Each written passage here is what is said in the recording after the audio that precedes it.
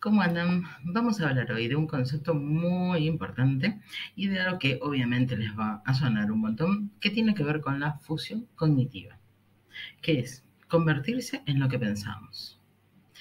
Tiene que ver con la fusión, es la ruptura de la línea que separa a los pensamientos de la propia persona.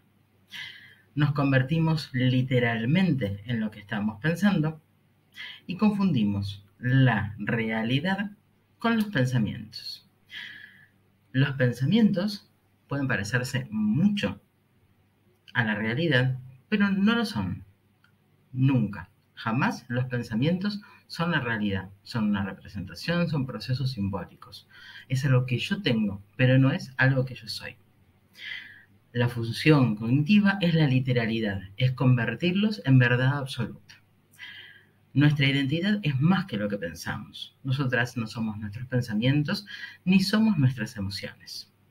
Además de que los pensamientos, como les decía recién, son procesos simbólicos y no realidad, los pensamientos pueden ser irracionales, ilógicos y no necesariamente, y esto es sumamente importante, tienen que ver con la propia personalidad. Pensemos en la cantidad de información que captamos de una manera no consciente mientras estamos haciendo otras cosas. Entonces es importante aprender a soltar los pensamientos, a hacer algo con estos.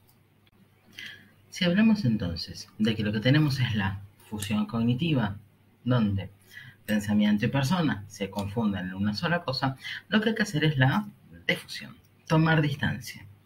Tomar de distancia es convertirnos en el ojo que observa. Es la metacognición. ¿Sí? Eso significa observar, parar y diferenciarme de aquello que siento o de aquello que pienso. Es la distancia entonces entre la persona y los pensamientos. Y es actuar independientemente de ellos. Ejemplos que podemos encontrar de fusión cognitiva es, por ejemplo, cuando las personas tienen ataques de pánico, que creen que son esa ansiedad en la que están pensando. Su miedo, después de haber tenido, por ejemplo, la primera crisis de pánico, les hace tener más miedo.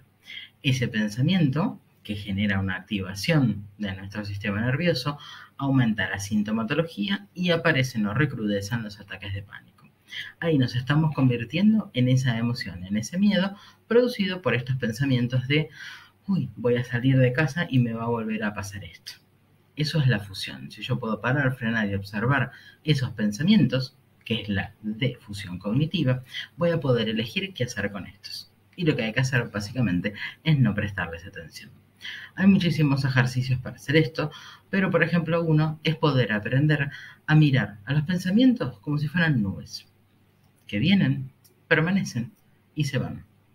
Entonces, en síntesis, fusión cognitiva, persona y pensamiento todo junto, defusión, pensamiento y persona por separado, porque tengo metacognición y puedo observar a estos pensamientos y debo entender que no elijo todo lo que viene a mí y no elijo todos los pensamientos que llegan.